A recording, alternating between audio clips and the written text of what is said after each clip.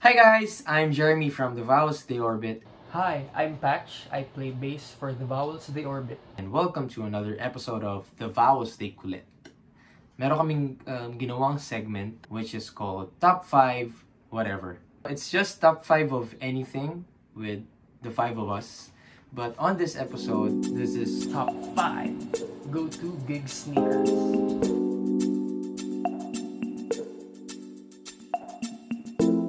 Um, when it comes to gigs, um, of course, you would expect the musicians to play for a lengthy period of time, around 20-30 minutes. Siyempre, nakakapagod kung hindi okay yung shoes na suotin mo. Gusto ko, komportable ako. Uh, hindi to in order. So, these are my top 5 go-to gig sneakers or shoes. So, here we go.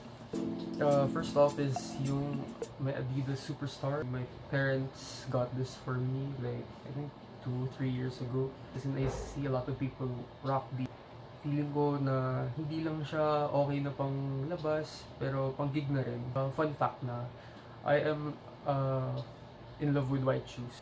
Can't deny the swag it brings. White.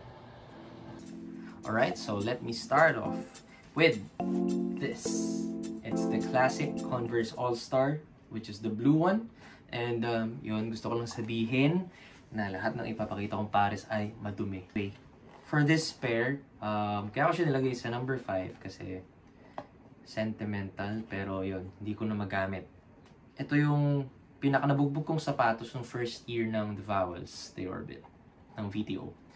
Um, same year na buo yung band and nagkaroon kami ng ilang gigs and uh, nagtuloy-tuloy lalo na nung first ever rock back to school um, experience namin. RBTS nga pala is an event of 7-Eleven and yun, nag-front act kami for uh, Grace Note, Autotelic, and December Avenue. So sa lahat ng 8 schools na tinugtugan namin, ito yung suot ko.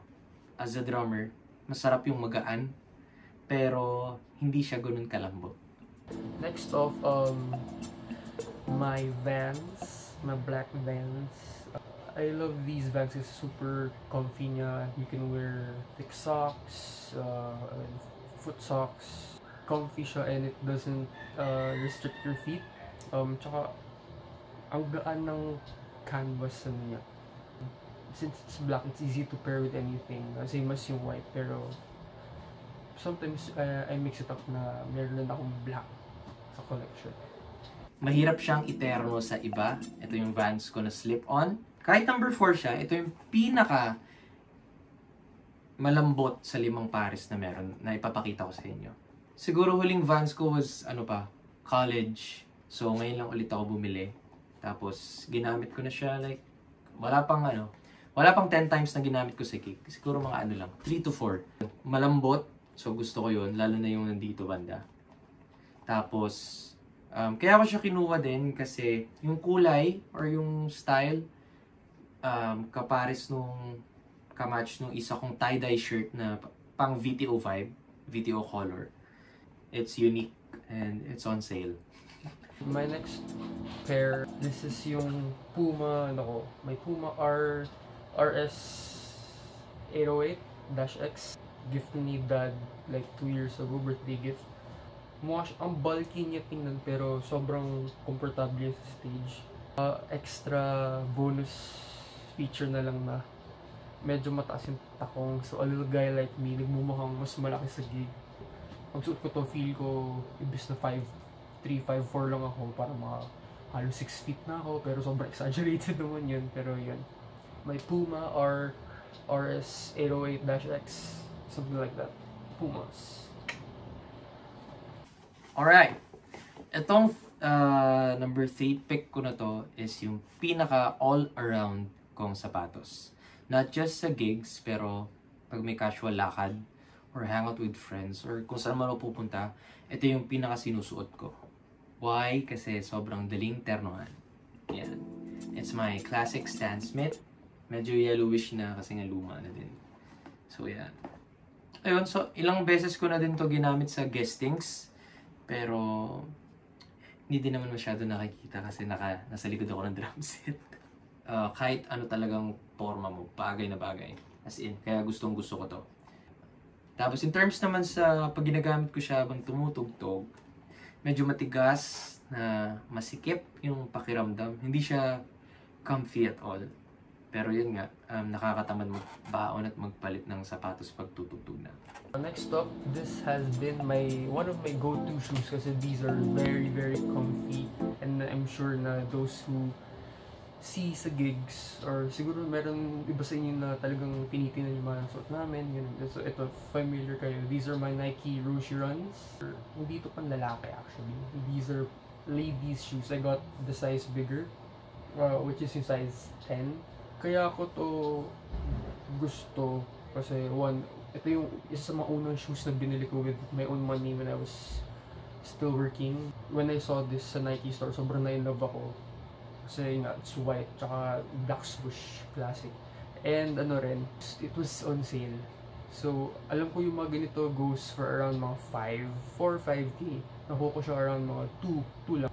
I always bust these out kasi super okay to, promise. Um, so itong last two ko na ipapakita, it's the same brand pero different design. My number two is none other than my Dr. Martens Sex Pistol Edition. So it's like matte black. Tapos, yan, yellow yung nandito and pink. Tapos it has the lyrics of God Save the Queen ng Sex Pistols. I mean, it's very special. It's a gift from my tita. Pero, nagustuhan ko kasi yung pagka all black niya. Um, hindi ko alam kung ano, pero ayaw ko pag nasa banda, masarap mag boots, mag Martens. Um, sa pagtugtog, it's heavy. Of course, sobrang bigat nito. Pero, um, kaya ko siya nagustuhan.